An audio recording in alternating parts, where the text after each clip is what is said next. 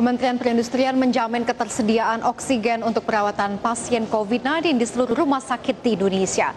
Kemenperin memastikan industri penghasil oksigen tanah air akan meningkatkan kapasitas produksinya untuk memenuhi kebutuhan pasien COVID-19. Kepastian ketersediaan oksigen untuk perawatan pasien COVID-19 di seluruh rumah sakit di Indonesia disampaikan juru bicara Kementerian Perindustrian Febri Henry. Febri menyebutkan kecukupan pasokan oksigen ini didasari dari tingkat utilisasi industri penghasil oksigen sebesar 80 persen dengan kapasitas 600 juta ton per tahun. Sehingga jika ada peningkatan permintaan, industri dapat meningkatkan kapasitas usahanya.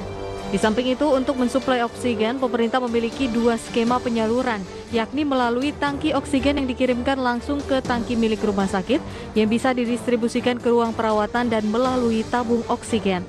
Adapun untuk penyaluran tabung oksigen, pemerintah juga memastikan ketersediaannya, di mana saat ini terdapat 6 juta tabung oksigen.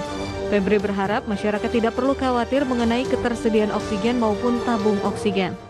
Terkait dengan uh, isu ketersediaan oksigen dan tabung oksigen untuk rumah sakit dan pasien COVID-19, uh, eh, kami perlu sampaikan bahwa Eh, ketersediaan oksigen untuk uh, Indonesia saat ini sudah cukup ya aman.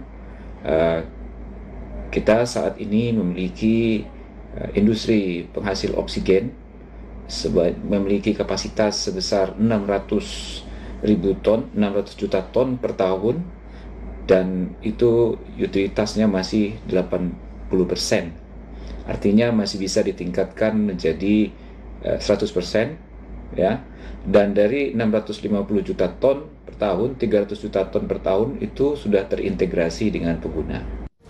Di samping itu, Kemenperin juga akan terus bekerja sama dan berkolaborasi dengan Kementerian Kesehatan, Badan Nasional Penanggulangan Bencana, hingga pemerintah daerah terkait kebutuhan tabung oksigen. Di mana meski ada peningkatan permintaan sebesar 20 persen, namun hal ini dapat diantisipasi dengan ketersediaan tabung oksigen. Jakarta, Devir Mansyah, IDX Channel.